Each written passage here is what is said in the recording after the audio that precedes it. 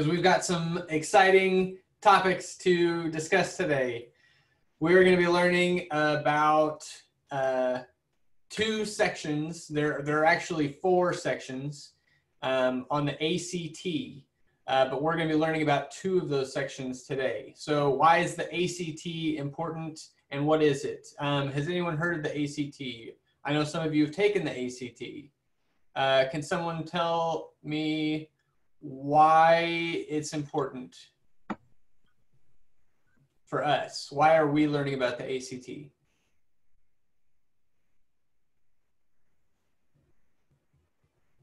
Let's hear from Brittany. Brittany, why are we learning about the ACT? Um, because we have to take it.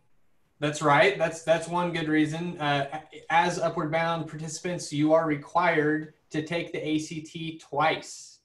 And what good would it do if we were to require you to do something and not prepare you to do it? Uh, so we're we're going to get you ready for that ACT because it is kind of a tough test. Um, you're going to take it twice throughout high school.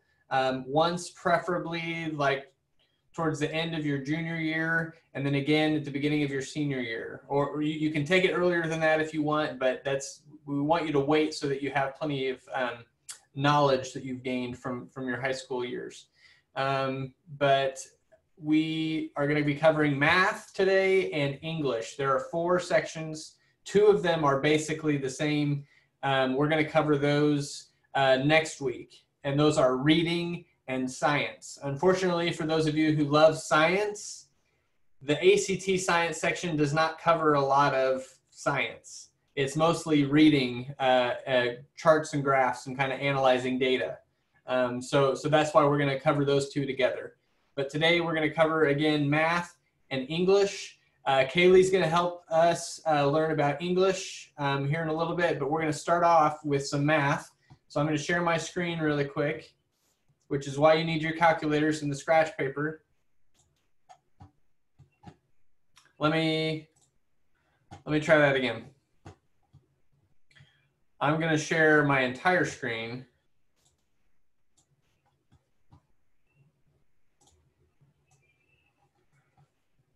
All right, so that you guys can see the slideshow and uh, my scratch paper over here, which is uh, going to be a little rough, but I hope you bear with me. I'm not as cool as Mr. Babcock. I don't have a smartboard in my office, uh, so I can't work out the problems that way. So we're just going to work it out in Paint. Uh, so anyway, mathematics. Um,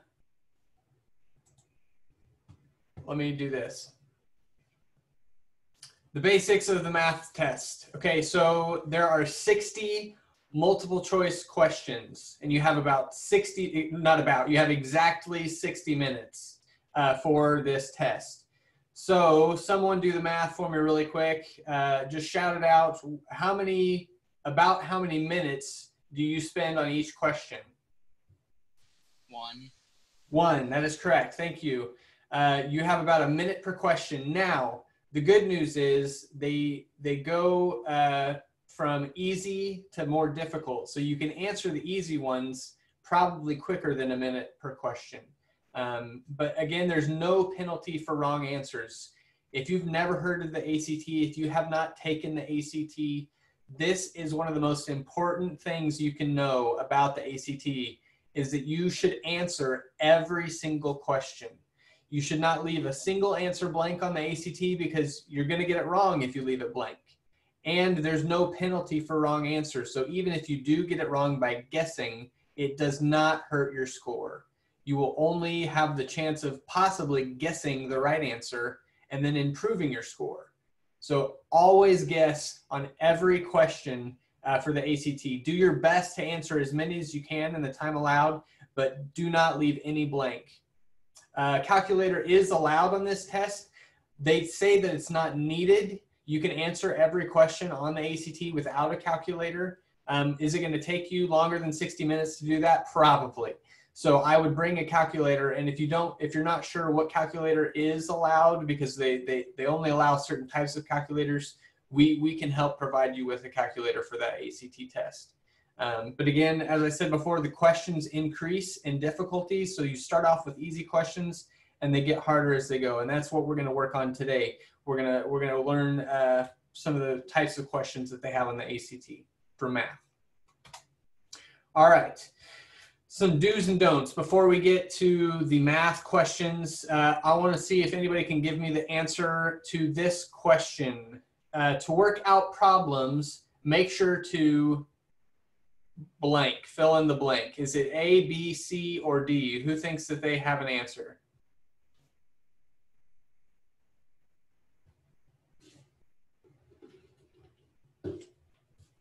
If we don't have any,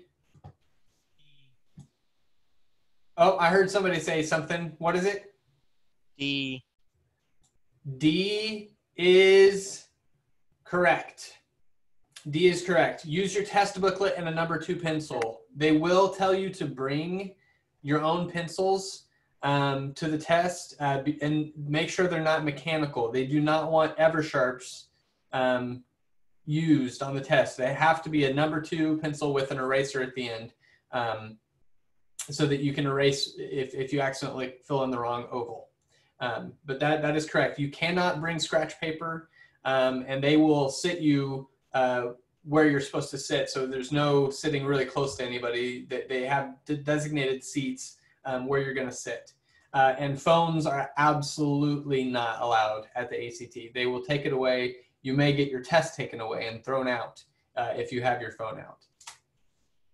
All right, when you come across a word problem, what do you do? Anybody? I'm sorry. Which one? I heard somebody say something.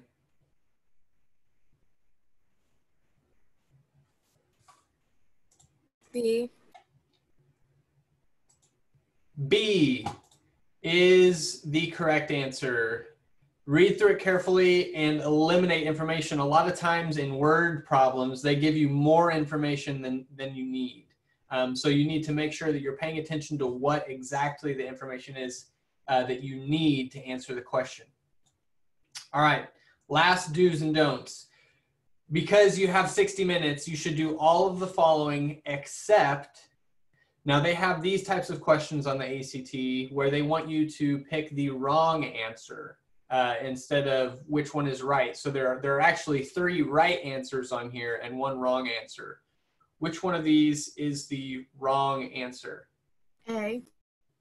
A, that is correct. You cannot spend as long as you need for each question. If you come to a question that you are noticing you're spending longer than a minute or it's taking you it's going to take you another 5 minutes to get done with the problem or you just don't know what to do with that problem, fill in an oval for it and skip it and then come back to it later. You can always come back to questions and change your answer, but do not spend more time than you need for each question. All right. This is an example of uh, an ACT math question, and these are some steps that I want you to think of when you're when you're coming across any problem. You need to determine first what is being asked. Um, sometimes they'll say the question is, uh, they'll, they'll, give you some measurements in inches and they'll say how many uh, or what, what is the total in feet. So you need to make sure that you're not giving the answer in inches because they're asking for feet. So in this in this case, this problem, what is being asked is 8% of 60 is one fifth of what number? So we need to find a number that is a fifth or, or excuse me, a fifth of our number is 8% of 60. So you have to be very careful about what exactly is being asked. Another strategy is uh, plug in C. So if you're not sure where to even begin, just plug in C to the, to the problem and see if that fits. Um, I'm gonna reduce my screen really quick. Well, that gave you the answer, uh, but uh, we're, we're going to plug in C really quick to see what number. So if we have 8%, does anyone know how to write 8% as a decimal? 0.08. Very good. 0.08 of 60. So how do I get 8% of 60? What does of mean basically in this problem? Multiply. That's exactly right. 8% of 60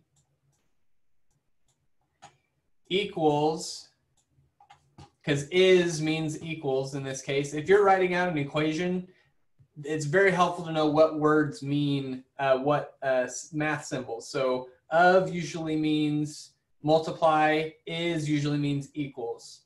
Is one fifth of what number? And what did we say of means multiply? So I'm just going to put it in parentheses because that's the same thing as multiplying. Of what number? And we'll just use x. Sorry, uh, my handwriting in paint is terrible, um, but we'll, make the best of it. Um, so if we're going to plug in C, if we just don't even know where to begin, we could solve this problem, work it out easily. Um, but if we want to plug in C really quick um, and see what we get, we'll find that these two sides are not equal. Uh, so that that should tell us though which which way we need to go. Do we need a higher number in X or a lower number in X? And the problems, the math problems are always listed in order from lowest to highest.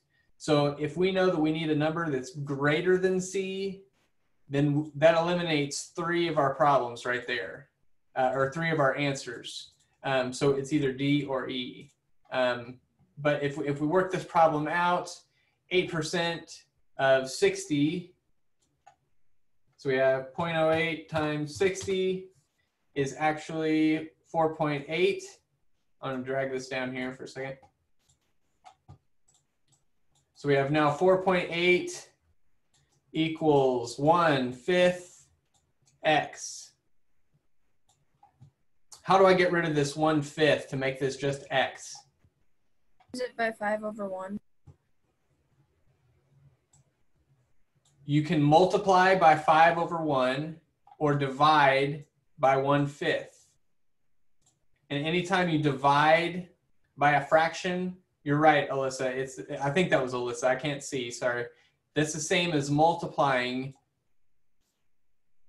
by the opposite, the reciprocal of the fraction.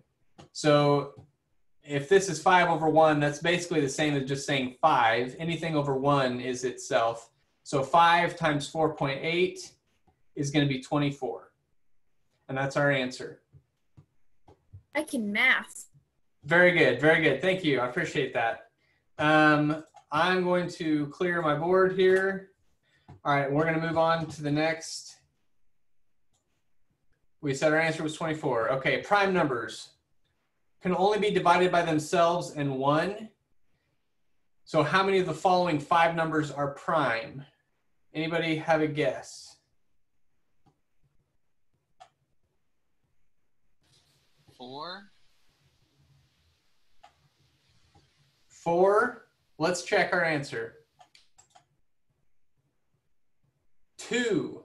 So let me give you a hint about prime numbers. One is not a prime number. One is actually something else entirely. It's, it's not a prime number. Two is the first prime number, and it's actually the only even prime number because any other even number can be divided by two.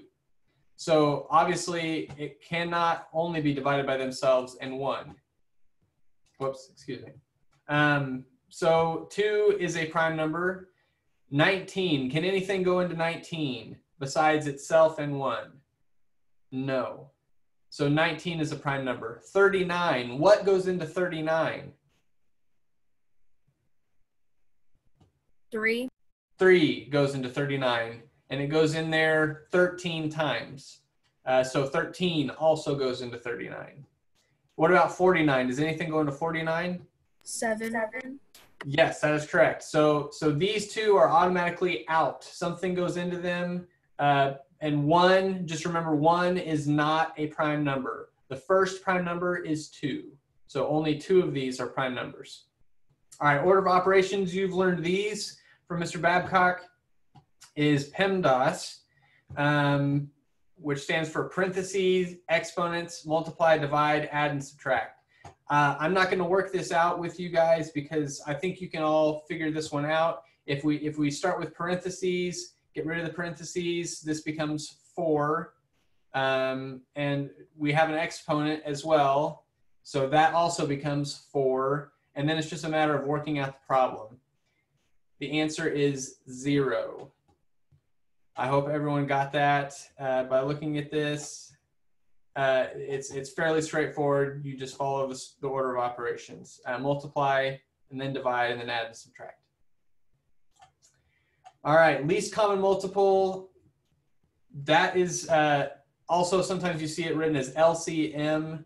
The least common multiple is the lowest number that both of these numbers divide into. Okay, so what is the least common multiple of 8 and 16? A number, but that both of these will go into. Anybody have an answer? 32. 32. That would, upon first glance, yes, that makes sense because 8 goes into 32, 16 goes into 32. Is there a number that 16 goes into, that 8 goes into as well, that is less than 32? 16. Yes, 16 goes into 16 one time. So 16 is our least common multiple. A, a similar uh, thing to least common multiple is greatest common factor, which is the greatest number that divides into both. So rather than going up, you're going down, if that makes sense. Uh, with least common multiple, you're you're trying to find the number that they both go into that is higher, um, or or equal to. This you're you're trying to find a number that is less than uh, or equal to. So is there a number uh, which which makes no sense whatsoever because least Three. common multiple you're, you're you think would be smaller, but it's actually bigger. Okay, greatest common factor. That's the that's the clue word right there. Factor. A factor is something that goes into these numbers. So I think I heard somebody say it three. Three. It's actually six. If you take six times three, you get 18, and six times five, you get 30. So six is the greatest common factor that goes into both of these. They're not asking for the least common factor, uh, which actually would be two, um, but the greatest common factor. What's the biggest number that will go into both of those? Rational radicals. Okay, so looking at these here, these are all radical uh, answers. And I don't mean that they're radical as in like way far out cool. I, I mean that they have this little line that comes up that's a square root symbol, but it's also called a radical. Um, so this is radical 3, this is radical 13, this is radical pi. Uh, which of these following numbers is a rational number? Now, irrational, the difference between irrational and rational, irrational is just a bunch of random numbers that goes on forever and ever and ever. Rational is an even fraction or a decimal that repeats itself. And we can see that the answer is E because if you take, let me exit really quick, a radical 25 over 36, anytime you see a division symbol inside of a radical, that's the same thing as saying radical 25 over radical 36. Can anyone tell me what radical 25 is?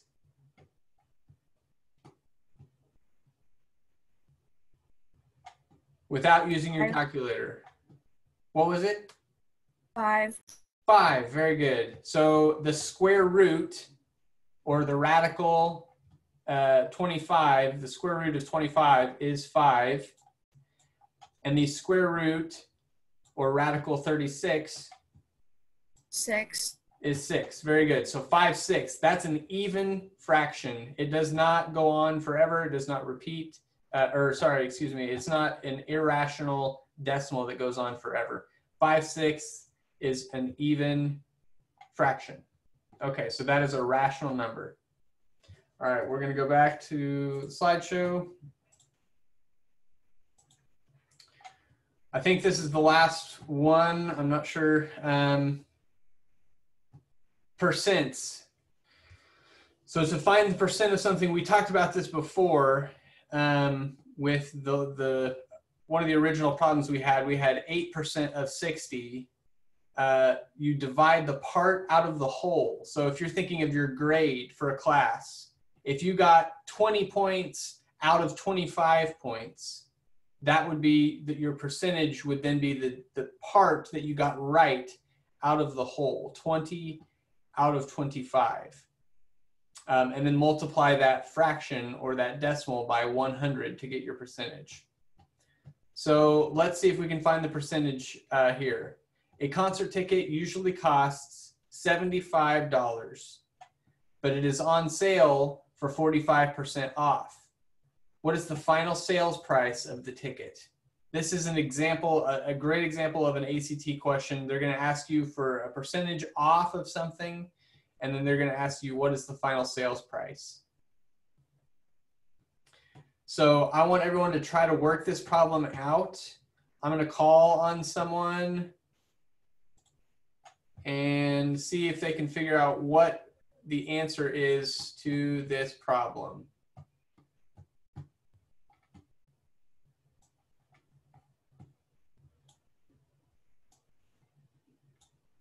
Let's see who we got here. Um, give you a couple more seconds here. Sorry, I'm covering up the problem.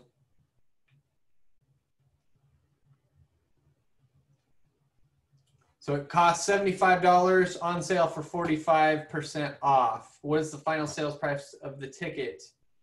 Uh, let's hear from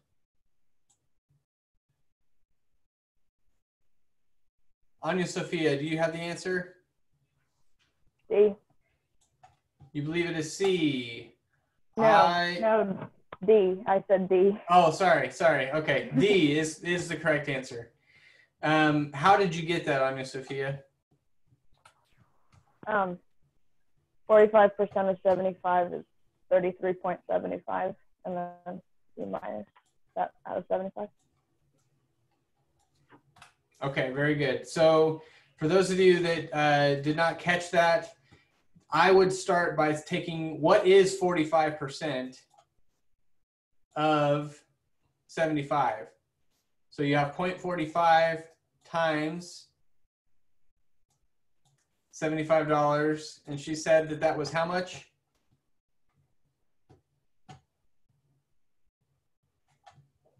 Thirty-three point seven five.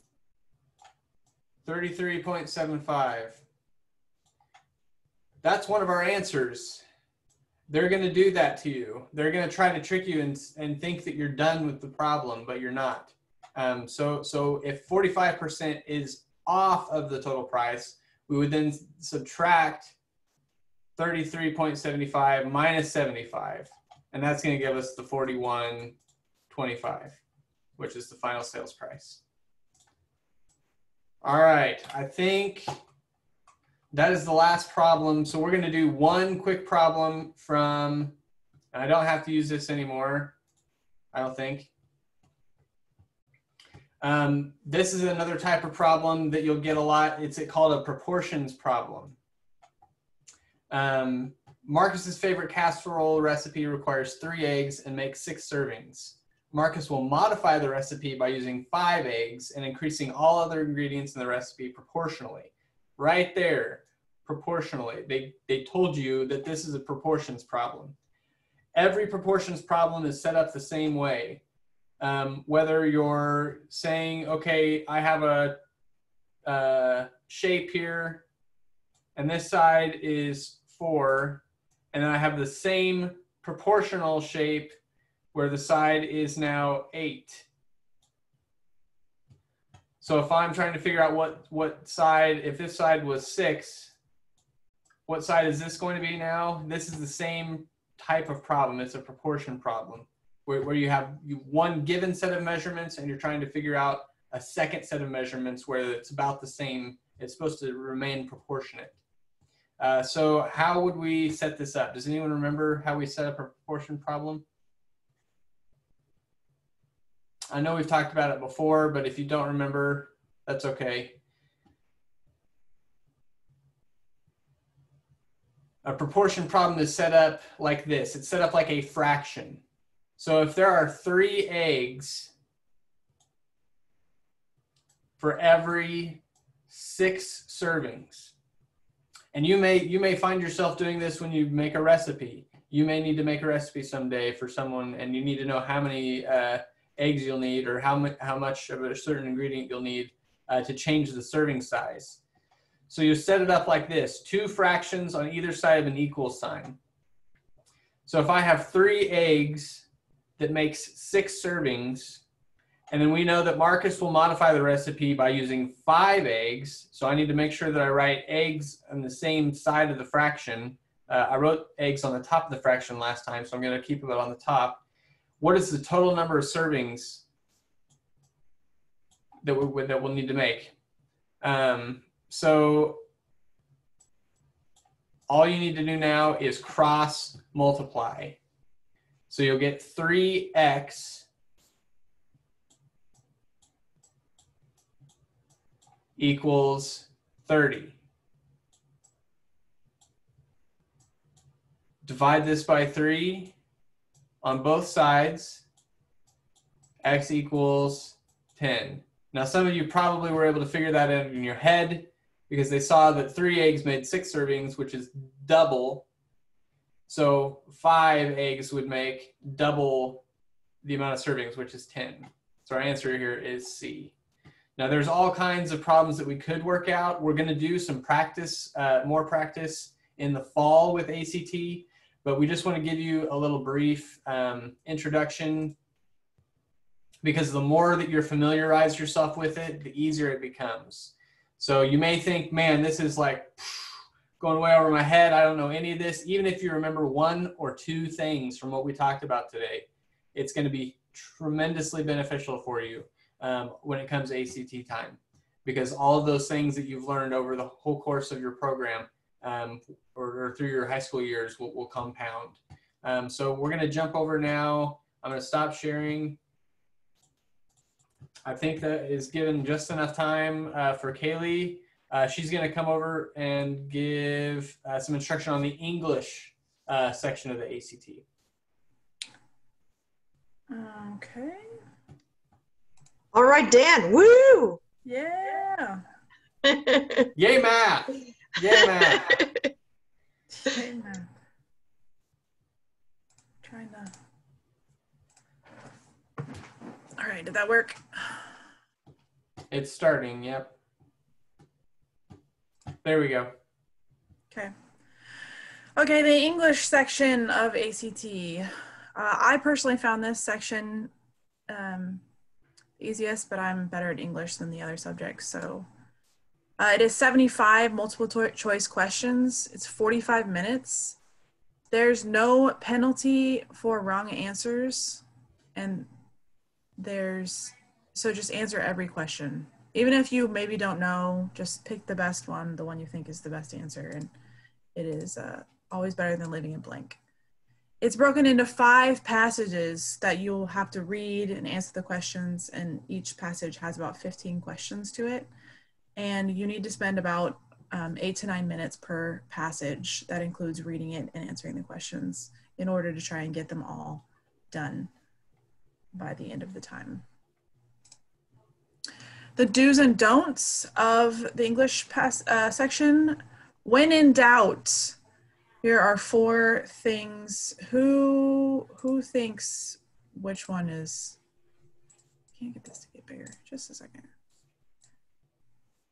Okay, A, shortest is best. B, ask for help from the person next to you. C, pick an answer at random. Or D, use your phone to Google it. What are our guesses? C. Emily says C. Um, okay. That if it's if that's your last resort, that's not a bad answer, but it's actually A. Um, shortest is best. I guys, I wish I knew this when I was in high school taking the ACT because sometimes you'll get an answer. We'll we'll see an example in a second, but you'll get it'll be super long answer and you'll be like, that looks right. But really what they're looking for is the shortest answer is the best answer. Okay.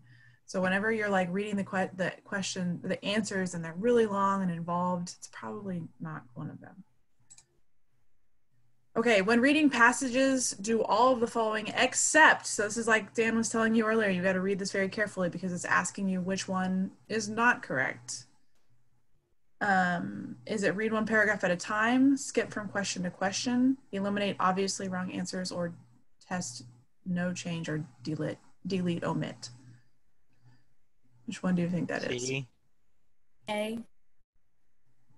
It's actually B. So it's asking which one do you not do. So don't skip from question to question because if you're gonna, we'll look at the example again in a second. It, that would be really confusing to do because if you don't go in chronological order as you're reading, then you get really confused and you don't want to skip around. That makes it really confusing.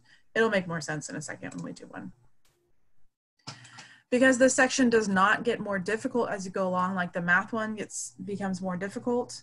Um, uh, you should do one of these things. Spend a long time on each question, skip around, illustrate each passage in your text booklet, pace yourself, and answer every question. What do you think this is? D. Yes, D. D is correct because it's the same. You have the same amount of time, so just pace yourself, do the best you can. Don't have to worry about speeding up to get to the end. Okay, sentence fragments. Sentence. This screen here.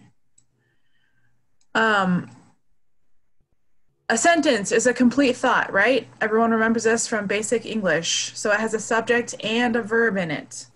So one of these questions, they're gonna. So you'll read through this paragraph. It says trees are frequent conductors of lightning to the ground. If the damage is severe, the tree may not be able to recover and decay sets in, eventually killing the tree. So the underlined portion is what they're asking you about. So it says occasionally may explode completely. Now, first of all, reading that, does that sentence make sense to anyone? No, because there's no, there's no, there's not a complete sentence. Um, there's no verb. So, or subject. So Four is saying, would you change? There's no change.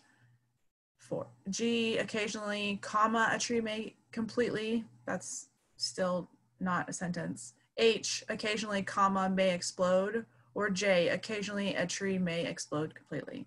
So which one of those sounds the most complete? J.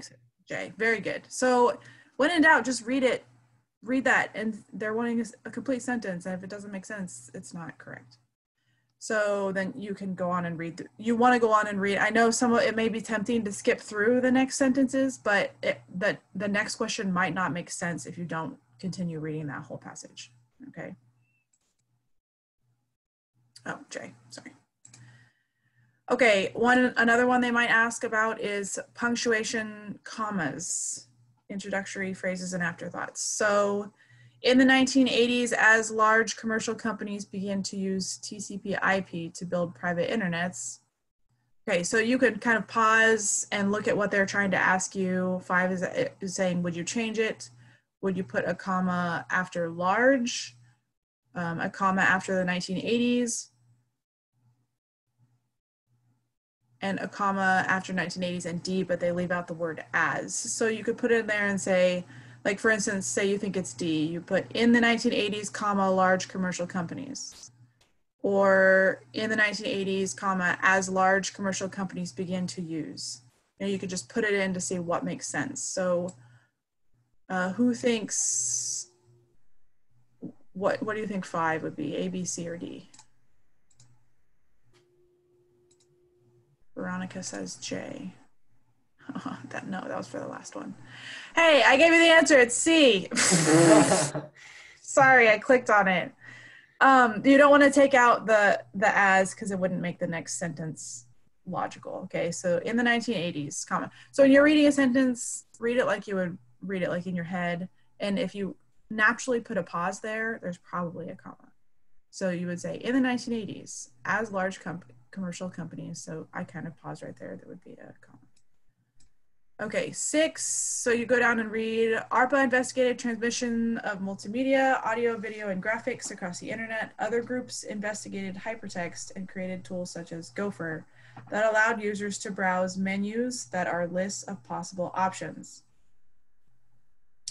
Okay, so they put a comma on G after lists, so menus which are lists, comma, of possible options menus, comma, which are lists of possible options, and menus, colon, semicolon, which are lists of possible options. So this one is a little bit tough because you think like, well, first of all, they changed one of the words. They changed that to which, and then they added a different punctuation in there. So who thinks they might know what this one is? Anyone can guess. Anyone guess or I'm going to choose on you? I'm checking the chat, but I don't see anything. H. Okay. Melissa says H possibly. So you, you think menus, comma, which are lists of possible options. The answer is a- ooh, is H. Very good. So because when you're reading it, it says um, created tools such as Gopher that allow users to browse menu browse menus, which are lists of possible options. Because which um, sounds better than that. I don't. Dan, do you have a, a These way? these of- are just examples of like uh I guess they're sentence fragments or clause independent clause uh dependent clauses that, that cannot function on their own. So which are lists of possible options is not a sentence. It needs a comma to separate it from the rest of the sentence, um, which it would makes it an afterthought. Um, same thing with in the 1980s. That's an introductory phrase. So sometimes if you if you're reading something and it makes sense to pause uh, after in the 1980s, um, you would put a comma there. Sometimes uh, you, you do the same thing at the end of a sentence. Um, Yeah, and and they they put they change that to which just because it fits the sentence better. Um, so that's why it makes it a little bit tricky because you think maybe it's no change, but then these three examples have which in it. So you just got to kind of look. They're trying to throw you off. So you Yes. got to you got to look at um, the commas with the extra things that they put in there. Um, punctuation in interruptions and appositives. So when I nominated Sigmund Freud, the father of psychoanalysis, my friends just groaned and rolled their eyes. So um, you can have no change, or when I nominated Sigmund Freud, comma, the father of psychoanalysis, comma, or when, comma, I nominated Sigmund Freud, the father of psychoanalysis, comma, or when I nominated, comma, Sigmund Freud, the father of psychoanalysis. So to me, like as I'm reading through those sentences, um, you just have to read it as you would naturally read it, and then notice where you pause. So who, who's re- who's hearing what I just read, and who thinks that they know what the answer might be? we've got several in the chat that said G. Okay. Ah, guys, G. Okay, very good. Uh, the difference between that is they put a, a comma after psychoanalysis, which makes sense. Yeah. There's a, a natural pause there. It's an interruption, right? It's it, it it's just the same thing as what comes at the beginning of the sentence or at the end of the sentence. The those kind of those little clauses, those fragments that wouldn't make sense by themselves, but they're they're kind of interspersed in there somewhere with, and they're separated by commas. Okay, punctuation, commas, coordinate, adjectives, lists, and conjunctions. Okay. So this one is asking you to put the commas in. It doesn't have any commas in it, and they want to know how many you think would be in there. So in reading this, these two sentences, the lazy brown fox slept the day away, and the rabbits played outside its den while the fox dreamt of flowers, streams, and sunshines. So first of all, the, the first thing you need to look at is, would you ever start a sentence with and? Anyone? No. Okay. So that's kind of a trick because you're like, oh, there's two sentences here. Well, there's not.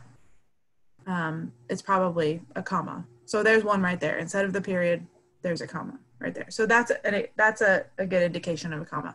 Another one is descripti- descriptors. So uh, lazy and brown. So you would put a comma between them because there's two there and you have to separate them with a comma. So who how many commas after reading that do you think are in this Three. sentence? Okay, someone said 3. Okay, there's actually 4. So a lazy brown fox slept the day away, comma, and the rabbits played outside its den, well, den, comma, while the fox dreamt of flowers, streams, and sunshine. I actually might have done that wrong. Okay, I actually added an extra comment in there. This, guys, I'm not saying this is pretty tough. So the more practice you can get with the ACT, the better. Yeah. Okay. Yeah. So one one comma after lazy, one after away, and since flowers and streams are um, n- A nouns, a Right. list, you put commas after them. And ACT, does anyone know what an Oxford comma is? So there's a lot of um, confusion about this one. It's a comma right before the word and, like streams, comma and. So sometimes people put it in there and sometimes people don't, but the ACT uses it, so you would count that as a comma. Right. Okay. Grammar, which is everyone's favorite thing ever. Yay. So there's a lot of different grammar um, questions they'll have on the ACT. In this this particular uh, review we're doing, we're doing it's it's and it's there there and there, two two and two, uh, which some of them might be pretty obvious, but some are confusing. So this paragraph says there are several ways to use words in the English language. Okay, what is they they I'm going to say it anyway. They, comma, are. There with a comma is they are. So if you read the sentence and it says they are very several, there are they are several ways to use words. Does that make sense? Does not make sense. So obviously that's the wrong there. So which there would it be? I cannot see. T H E I R or T H E R E? The second. The second one. Correct. Yes, good. Yes, because there is a place or location I saw over there. I should have gone over those first. Let's do that. It's is a contraction of it is. It's with no comma is a possessive form. The arrow hit its mark. And it's with apostrophe, not comma, apostrophe. It's with an apostrophe after the S is not an actual word, okay? But the ACT is going to throw it in there to throw you off. So if mm-hmm. you see the apostrophe at the end of it's, you know it's wrong right off the bat. Okay. Never pick that answer. Yeah. Their T H E I R is more than one owner. It was their dog. There is a place or location. They, comma apostrophe R E is they are contraction. And two, two, this one, these these are confusing for a lot of people. Uh, T O is a movement in a direction. Let's go to the store. T O O is also or a lot. So sometimes that works if you just um, if you place replace two with also and it makes sense, then it's probably two O's. I mean, it is two O's. There are two or too many choices. There are a lot of choices. Okay. And TWO is obviously the number two. I see a lot of people confusing TWO with other things and it's spelled differently. So you guys should know that that's not the same thing. Okay, so um, English language, and it's often difficult too. So which its would that be? Because that's obviously not a word. It is. Yes, it is the contraction. And then often difficult, not the number two, but is it TO or TOO?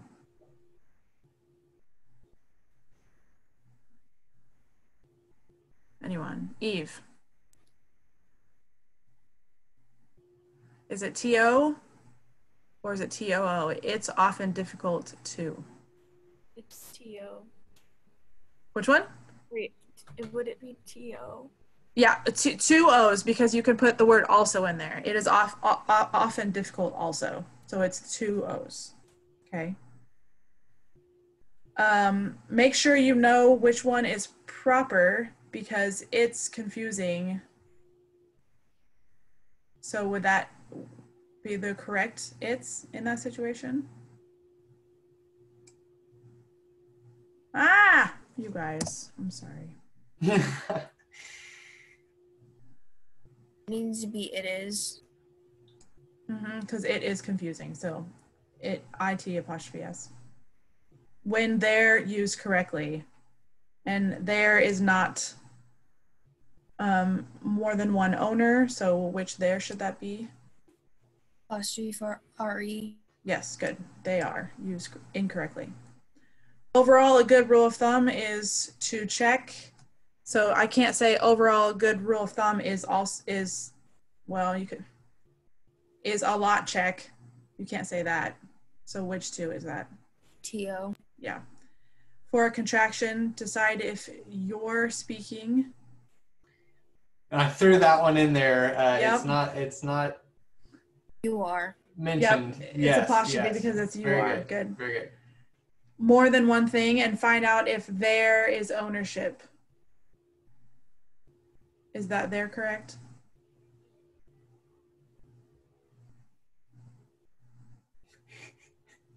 Everyone's second No. guessing themselves now. Yeah.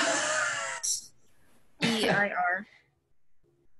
um I actually think that is correct. No. that is not. I'm correct. sorry. That is Yeah, correct. okay. That is the correct one. That was a trick. That was because you correct. can't put there because it's not people, and you can't put they are because it's not a contraction. Okay. Right. The ACT is trying to trick you. Is that the correct two? Doesn't make sense to say the ACT is also trick you, trying also trick you. So it would be T-O. TO. So don't second guess yourself, but reread to be sure its usage is accurate accurate and that's a trick word. So is it apostrophe S or just S? Just S. Good. And then the correct. Yeah, and then that's the corrected pair, what we just did. Good. Oh, that's the last slide. Okay, so now we're going to. Reading that made me mad. I know, Elizabeth. It's like you have to like you have to overanalyze it, and that's what the ACT is. And sometimes you just need to. It's easier when you are actually taking the test because. Let me show you an example passage really quick. and there's not so many distractions around. You're in a quiet room, and it's just you and your paper focusing on the test. Like there are other people in the room with you, but you're not talking to anybody. No one's looking around. Right, and it's also easier. That's why When we, they- when we th- took it, the room was freezing. People were sneezing and coughing. The ground was like slanted, and I kind of had like had to sit there and try and keep myself in the seat. Yeah. so so Desks that's a, tiny. a good reason why it it's a good idea to take it more than once okay? Because Yeah. a the first time you take it is you're nervous you don't know what to expect. I mean you guys will know what to expect because you're you're getting practice through upward bound but um you're you won't be so jittery. And then if you know you don't take a good um, take the test very well in that environment then you can request to take it in a different location. And maybe it's a it's a better environment and it works better for you okay because there are several locations You can take it at a, a whole bunch of different schools. Like you don't have Yeah. to sign up for the one in your town. So, or take it a different time of year. If it's winter and it's freezing, you don't like it, take it in the summer next time. Which summer they say is easier Jacket. anyway. So, hmm. Or bring a jacket. That's true. But I think, yeah. Okay. So let's do uh, this first passage together really quick. Um, I know we don't have much time. But um, I'm going to just randomly ask people what they think the answer is. So be ready. Um, so, mystery paper sculptor. Between March and November of 2011, an anonymous donor left intricately crafted paper sculptures at various cultural institutions in Edinburgh, Scotland.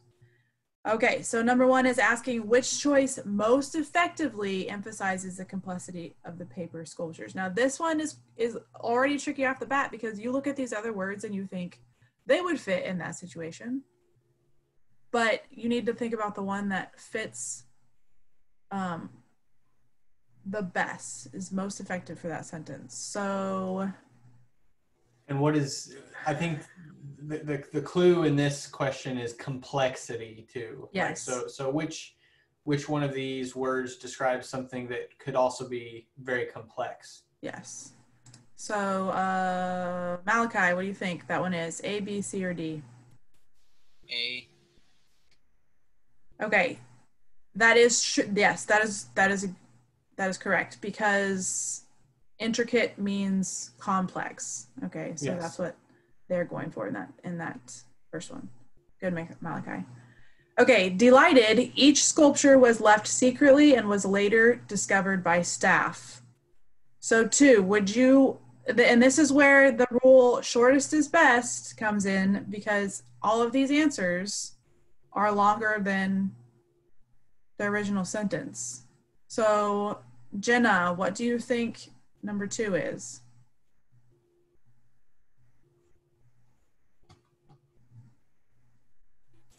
Would it be F? Okay. Ah, I led you astray on that one. I'm sorry, guys. It's actually G. Um, I'm sorry. Okay, because delighted is is talking. They're saying delighted is applying to each sculpture, and it's actually applying to the staff. I'm sorry, that was my bad. So because they put delighted first, it's incorrect because they're saying each sculpture was left secretly and later discovered by delighted staff. That was my Right. bad. Because delighted describes staff, not each Right. sculpture. Right. Okay. The delicate sculptures, streetscaped plants, and animals were carved exclusively from the pages and bindings of books. The tiny details in the pieces are awe inspiring. Okay. The first sculpture discovered at the Scottish Poetry Library was a tiny tree formed from a book or of verse. Library staff dubbed it the poetree. Okay. So, who thinks they know what number three is? No change, specified, adorned, or honored. Uh, rain. Um, B. Okay, so if you put um, library staff specified it, the poetree, that doesn't sound quite right. So it actually, it's actually A, okay? They just leave it because that word works great there, okay? If you aren't sure what a word means, um, at least eliminate the ones that you know for sure that it can't be. Um, and and usually they'll they'll try to trick you by throwing three words out there that seem that almost exactly the same um, as the word that they're trying to get you to change. So if if none of the words seem to be better than the original word, just keep it the same because Yeah. I think it, I think it's I, I don't remember the exact statistic, but no change is an answer as often as anything else. Yeah. Yeah. At Edinburgh's Filmhouse Cinema, a three dimensional sculpted scene shows patrons sitting. Okay, so, um, okay, is it cinema, comma, a three dimensional sculpted scene? Is it cin- cinema, comma, a three dimensional sculpted, comma, scene? Cinema, a three-dimensional sculpted scene, comma, or cinema, a three-dimensional, comma, sculpted, comma, scene. If there are that many uh, commas in the sentence, that's it's too many commas. Like, okay, so When in doubt, Especially if leave it- the it's- comma out. Yeah. yeah, it's not listing anything. So um, let's go up the list here. Elizabeth, number four. What do you think it is?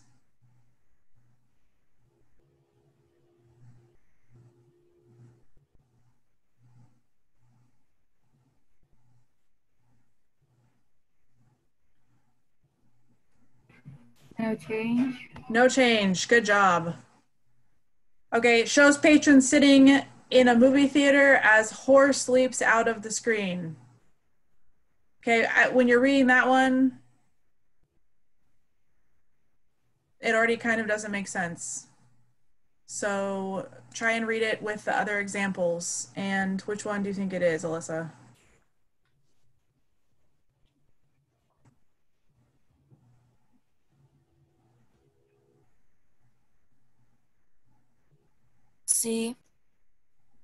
Yes, correct. A movie theater as horses leap out of the screen.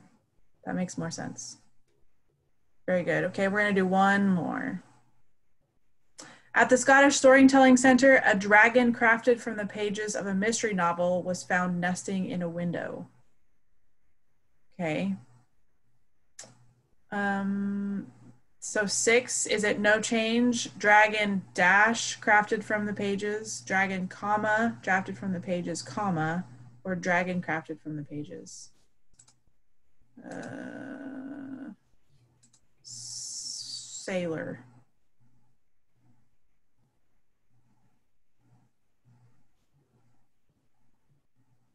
You read the sentence and it says, a dragon crafted from the pages of a mystery novel, does that sound right? Or is it one of the other examples? I don't see sailor. So let's go with Nick.